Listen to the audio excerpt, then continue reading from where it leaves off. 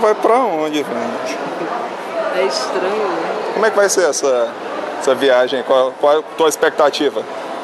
Pois é, é não pelo país, dizer os Estados Unidos, dizer Nova York, para mim não faz diferença o país, mas pelos irmãos que se encontram lá.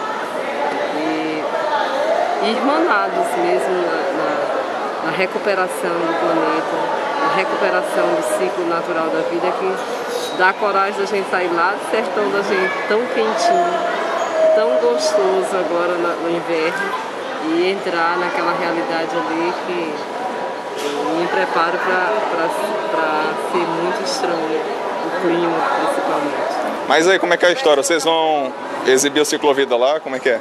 É, a gente vamos participar de, um, de uma turnê, né?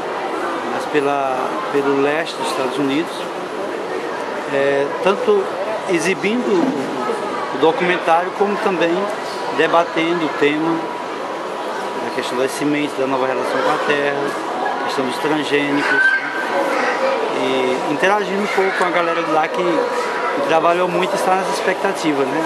Tanto eles como a gente também. Qual a tua expectativa chegar lá e discutir agroecologia, nova relação com a terra, uma realidade tão diferente da nossa aqui no Ceará?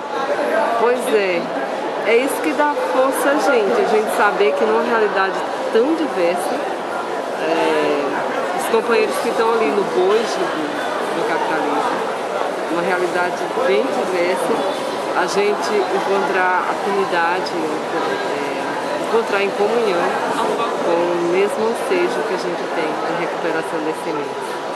Isso dá muita força, muita alegria para a gente, a gente saber que, que não é só aqui, que pode ser lá, que pode ser em qualquer parte do mundo, essa busca da, da recuperação.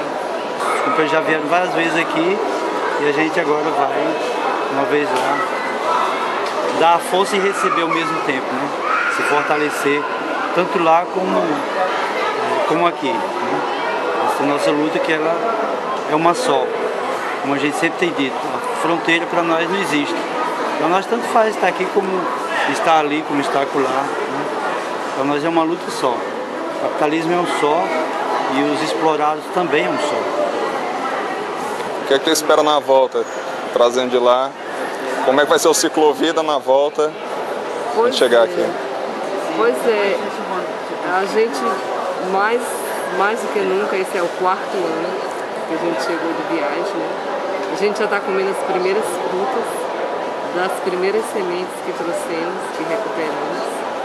E, e quando chegar a gente a gente está abrindo mão desse momento que você sabe que aqui, aqui para o Brasil, para o Nordeste aqui do Brasil, esse momento é muito rico para a gente, é o inverno. E é um inverno muito bom esse ano. Então é um desafio muito grande a gente abrir mão dessa parte do inverno. Quando chegar a gente vai tentar ganhar um pouco de tempo é, plantando já para o verão, para o ciclo das vazantes, do que conseguimos armazenar de água nos açudes.